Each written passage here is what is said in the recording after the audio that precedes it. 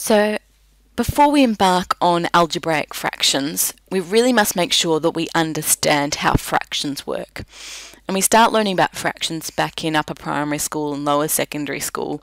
And by this point, um, we're just following sets of rote steps and we're not really thinking carefully about what we're doing. And it's really important that you actually understand what's happening in those steps so that when it becomes algebraic, you can be confident that what you're doing is still okay everything we know about fractions to date still applies. We're not changing anything that you've already learnt. All the things you know about fractions, if you know them well, are going to feed into you being able to work with algebraic fractions. But it's important that you do, we take a moment to stop and think about what is it that we actually know about fractions and how they work.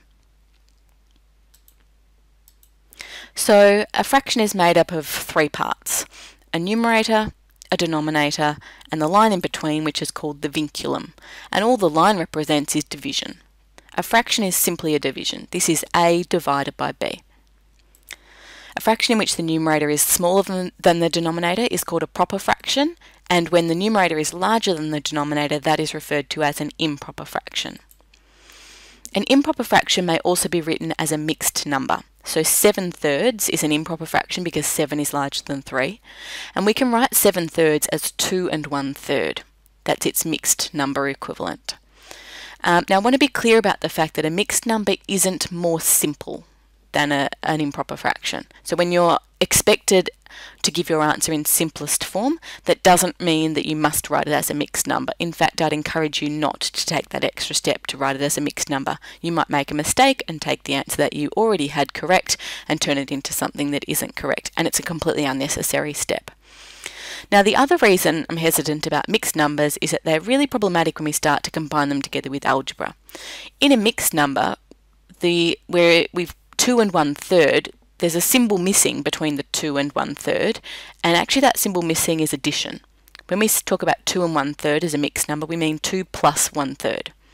In algebra, when we omit the symbol, for example 2x, we mean multiplication, 2 times x. So when we put these two things together, that's quite problematic. So if you think about if we had 2 and 1 thirds x, if we wanted to do 7 thirds x, uh, and we had it written as a mixed number, what we really mean when we write that is 2 and 1 thirds multiplied by x. But if we put in all of the missing symbols, 2 and 1 thirds is 2 plus 1 thirds, 1 third, and we're multiplying that by x. And then if we think, well, hang on, my order of operations, I know that multiplication needs to happen before addition. So if I'm if I've got 2 and 1 thirds x, which means 2 plus a third multiplied by x, doesn't that really mean a third multiplied by x and then add 2? Which is not my intention at all. I want to do 2 plus a third and multiply that by x. So combining the two together is problematic and uh, we can avoid this by just not using mixed numbers. Stick to improper fractions. They will get you everywhere. Similarly, when we're trying to add fractions and multiply fractions and subtract them and divide them, dealing with improper fractions is a much, much easier way to go. So always convert things to improper fractions uh, and then go from there. So simplifying fractions, that's something we've been doing for a long, long time now, and it's something that you do by rote without really thinking what you're doing. And in some cases that gets you to the right answer, and in some cases that might lead you astray. And this is going to become particularly problematic in algebraic fractions if you don't if you're not careful to think about what it is that you're actually allowed to do to a fraction in simplifying it. So I think we'd all agree that 8 thirds is a fraction in simplest form. When we're looking to simplify a fraction, we're looking for common factors between the numerator and denominator. And if there are common factors, then we can divide both the numerator and denominator by that common factor to simplify. So 8 thirds, 8 and 3 don't have common factors. That's simplified as it is. We would leave it. We could write it as an improper fraction, but that wouldn't be any more simple. It would just be a different way of writing it. 8 quarters, on the other hand, well, 8 and 4, they have common factors, a common factor of 4. So if we can divide both the numerator by 4 and the denominator by 4 to find that 8 quarters is the same as 2 over 1, which is 2. Similarly, just an understanding of, of a fraction as division allows us to work out that 8 divided by 4 is 2. If we have 8 sixths, 8 and 6 have a common factor of 2, so we can divide both the numerator and the denominator by 2 to find that 8 sixths is equivalent to 4 thirds. So we're allowed to multiply and divide numerators and denominators by the same thing. And particularly division of the numerator and denominator by the same thing is what allows us to simplify. And as I said before, we're looking for common factors. So if I'm faced with 324 over 72, I don't know what the highest common factor between those two numbers is, but I don't need to. I just need to be able to identify a common factor. So I can tell that they're both even numbers, so I should be able to divide them both by 2. So I do that divide numerator and denominator by 2, I get 162 on 36. And they're still both even, so I'll divide by 2 again. I get 81 on 18. And now I'm down to smaller numbers where I am able to identify that 81 and 18 have a common factor of 9. And so dividing both the numerator and denominator by 9, I get to 9 over 2, which is in simplest form since there are no further common factors apart from 1 between 9 and 2. So dividing both numerator and denominator by the same thing allows us to create what we call equivalent fractions. We've got four different fractions here.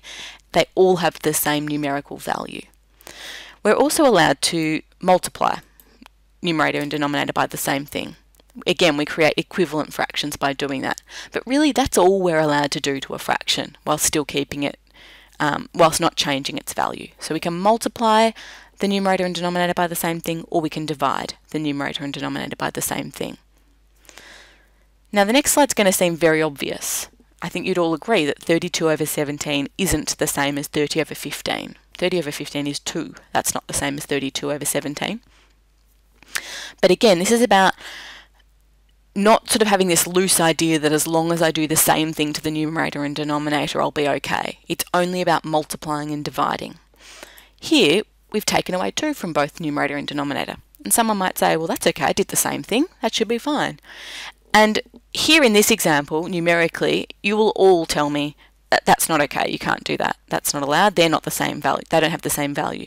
But all of a sudden, when we've got an algebraic expression, you've got x plus 2 over 2, you're going to want to take away 2 from both top and bottom there. And that won't be okay. Um, it's not okay with numeric fractions, it's not okay with algebraic fractions. The rules are the same, which is why it's important that we understand what we're doing here. Similarly, the second example, we've added 3 to both numerator and denominator. Those are clearly not the same fraction, they don't have the same value, um, and so that is not an okay thing to do when dealing with fractions. The other thing to consider is when a fraction has um, more than one term in the numerator and denominator. And this doesn't come up in numeric fractions because we can we, can, we just add those together and we won't have two terms there. But in algebra, we're not going to be able to do that. We'll have things like x plus 5 over x minus 4. Um, and we need to be, again, thinking clearly about what's okay and what isn't okay. So think about 78 over 46. Well, well, that's 78 is the same as 70 plus 8, and 46 is the same as 40 plus 6. And then I might think, oh, hang on, 8 and 6, I can simplify those. They're both divisible by 2. I can, they've both got a common factor of 2, um, and so I could simplify those down to 4 over 3. And so actually, I find that 78 over 46 is the same as 74 over 43.